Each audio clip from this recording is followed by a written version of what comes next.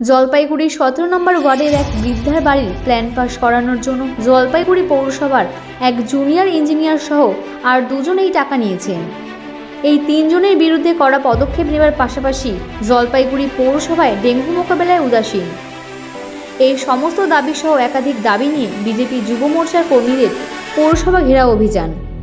DBC road থেকে BJP যুব মোর্চা কর্মীদের একটি বিরাট মিছিল পৌরসভার গেটে আসতেই বিশাল পুলিশ বাহিনী তাদের মিছিল আটকে দেয়। এরপরে বিজেপি কর্মীরা পৌরসভার গেট আটকে দীর্ঘক্ষণ বিক্ষোভ দেখায়। প্রথমে পৌরসভার চেয়ারম্যান ও ভাইস চেয়ারম্যান কেউ না থাকলেও কিছু সময় বাদে চেয়ারম্যান পাপিয়া পাল ও ভাইস চেয়ারম্যান সৈকত চ্যাটার্জি দপ্তরে আসেন। এরপরেই যুব মোর্চার স্মারকলিপি গ্রহণ করেন চেয়ারম্যান পাপিয়া পাল।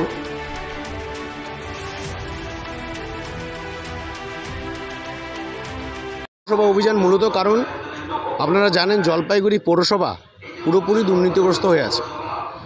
এটার প্রত্যেকটা কাউন্সিলর থেকে শুরু করে যারা এখানে কাজ করে, আপনারা দেখবেন বিগত দিনে, দেখেছেন বিগত দিনেও একজন এখানকার কর্মদক্ষ এখানকার কাজ করে, এখানে পৌরসভা কর্মরত, সে এক লক্ষ টাকার একটা দুর্নীতিতে ফেসেছে।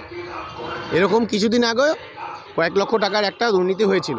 আর সবচেয়ে বড় দুর্নীতি কয়েক কোটি টাকার দুর্নীতি, এটা সবচেয়ে বড় স্ক্যাম পৌরসভার, সেটা এখনও উদ্ধার করতে পারেনি। বর্তমানে পৌরসভার যে অবস্থা, দুর্নীতিগ্রস্ত পৌরসভা, দুর্নীতিগ্রস্ত কাউন্সিলর সব কিছু দুর্নীতিগ্রস্ত অবস্থা এরকমভাবে চলছে। তার জন্য আজকে আমাদের পৌরসভা ঘেরাও। এই পৌরসভা অভিযানে এসে, আজকে আমরা যখন স্মারকলিপি নিয়ে পৌরসভা অভিযানে এসেছি, এসে দেখলাম, বর্তমানে আমরা, আমাদের কাছ থেকে যারা স্মারকলিপি নিবে এবং পৌরসভা যারা চালনা করছে, তাদের মধ্যে কেউ পৌরসভায় উপস্থিত নেই। পুরো পৌরসভা ফাঁকা হয়ে গেছে। ফাঁকা ঠনঠন অবস্থা পৌরসভা। এই অবস্থায় জলপাইগুড়ি পৌরসভা চলছে। এটা জলপাইগুড়ির সাধারণ বাসিন্দারা যারা প্রতিদিন এখানে আসেন, তারা এসে প্রতিদিন দেখেন যে এখানে কোনো পরিষেবা পান না। সামাজিক দিক থেকে যেই পরিষেবা, পরিষেবাগুলো পৌরসভার থেকে পাওয়ার কথা সেগুলো এখান থেকে পান না। কিন্তু অদ্ভুতভাবে এই পৌরসভার কাউ- কাউন্সিলর বলুন বা পৌরপিতারা বলুন কেউ না কেউ এদেরকে খবর দিয়ে বিশাল পুলিশ বাহিনী আমাদেরকে আটকে রাখার আটকে রাখার জন্য রেখে দিয়েছে। কিন্তু তারা নিজেরা তারা নিজেরা এখানে উপস্থিত নেই। এই হচ্ছে অবস্থা। আমরা যতক্ষণ না এই মেমোরেন্ডাম তার হাতে দিতে পারছি যতক্ষণ না এই দাবিপত্র তার হাতে তুলে দিতে পারছি ততক্ষণ আমরা এখানে থাকব আমরা বিক্ষোভে আসছি আমরা বিক্ষোভ চালাচ্ছি। ওনার ওনার না আসা অবধি আমরা জানিয়েছি পুলিশ প্রশাসনের মাধ্যমে তাদেরকে ফোনও করা হয়েছে। পৌর মাতা, যতক্ষণ না পৌর, আজকে পৌরসভায় আসবে, আমাদের কাছে এও এও জানা আছে যে পৌরমাতা প্রতিদিন পৌরসভায় আসেন না। আসলেও তার নির্দিষ্ট সময় যে অফিস টাইম সেই অফিস টাইমে তিনি আসেন না। তার ইচ্ছা মতো তিনটা, চারটা, তার সেই সময় আসেন। আজকে আমরা এসে তাই আমরা নিদর্শন পেলাম যে উনি আজকে এখন বাজে প্রায় আড়াইটে বাজে, এখনও তার অফিসে সে এসে পৌঁছাতে পারেনি।